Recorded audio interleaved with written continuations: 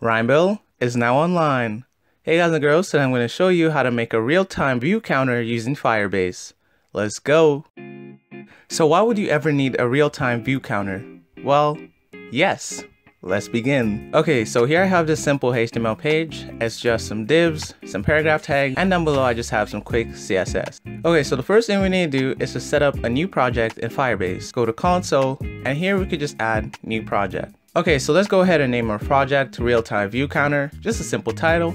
And here we want to disable all this Google stuff. We don't need it for our project.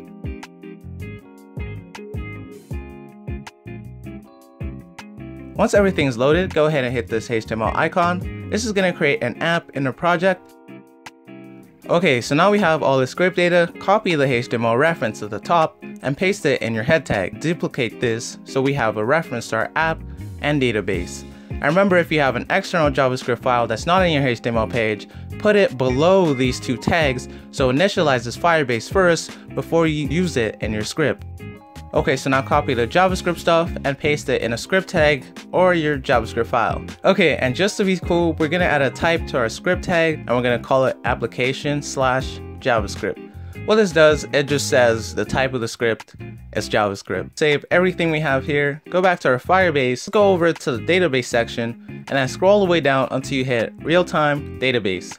Then we want to create a new database and now we're going to select test mode. What test mode means it allows you to read and write. And now we have a database, a real-time one. Okay, so now we're going to go over to this website which is api.ipify.org. So what this website does is when you go to it, it basically reads out your IP address. As you can see, my IP address has X's in them. That's because I actually edited this page so you guys don't see my IP. But yeah, you should see your IP address on the screen. It's a pretty bad website. But that's the problem. It's not a website, it's actually an API. And an API allows us to hit this website up and say, hey, give me some data. And then we have a callback which returns the data and that's how it works. I think so. I think that's what Google said.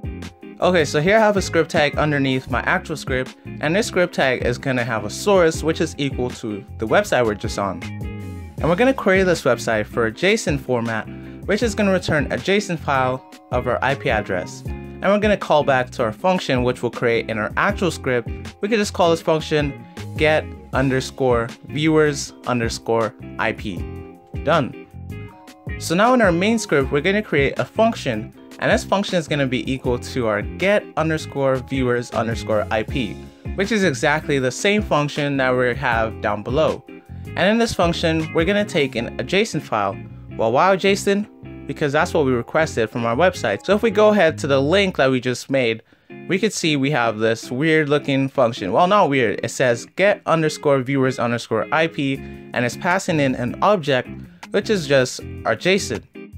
And in our function, we're going to create a variable, which is going to be our viewers IP is going to be equal to our JSON.ip. Why this? Because in our object, you can see our IP is equal to our IP address. And now once we have this, we can simply call a function which is count view.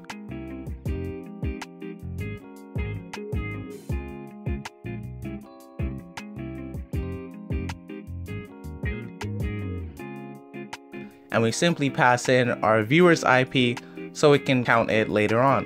And below, we're to create a function which is count view and we're to take in a parameter which is viewer's IP.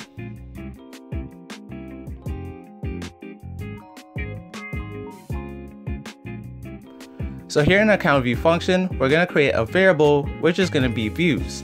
This is not to be equal to anything at the start, but we'll change that later on. And now we're to convert our IP address to string. Why are we going to convert it to string? Well, we converted a string so we can remove the dots in our IP and convert them to dashes.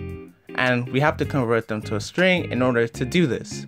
So why do we have to convert it to dashes, not dots? Because in Firebase, it doesn't let you store data that has dots. So I'll show you guys what I mean later on, but for now, we're just gonna do it as this.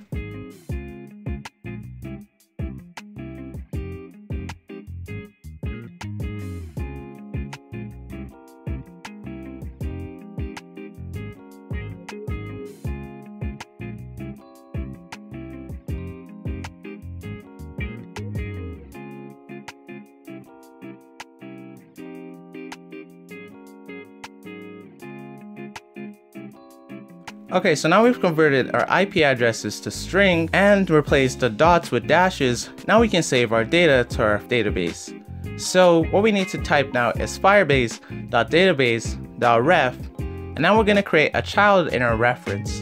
And in this child, we're gonna have a folder which is page views.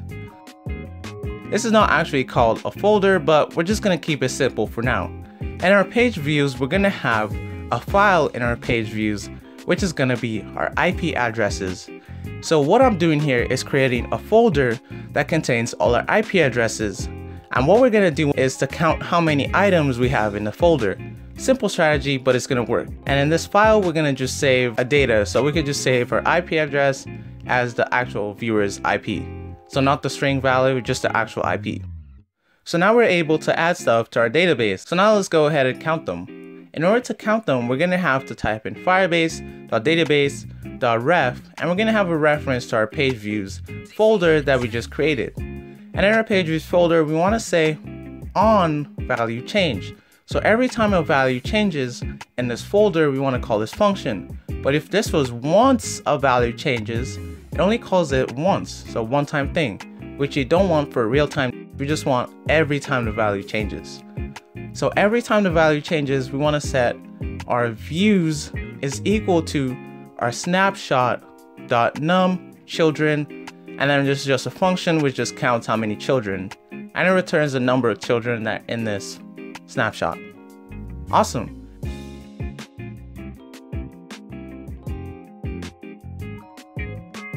And now we could just display our views inside a paragraph tag which I created above.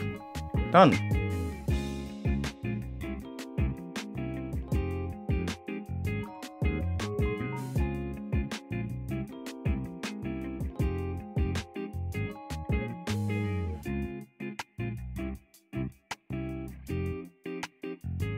And because I like being extra with my stuff, we're actually gonna add an icon, which is just gonna be an eye.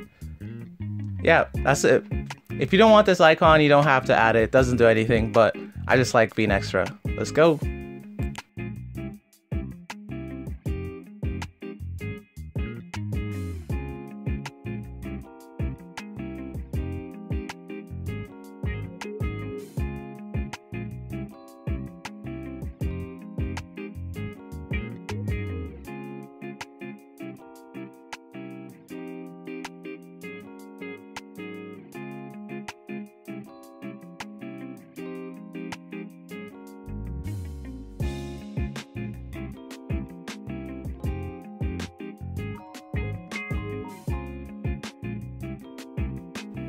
Okay, so now we're done. Let's go ahead and save everything we have. Go back to our page, refresh. So if we go to our Firebase, you can now see we have some data inside our page views and we can see our IP address, which I'm hiding because I don't want to get DDoSed. Anyway, we go back to our website, it still doesn't count because we have the same IP address. So it doesn't repetitively count whenever we open the page.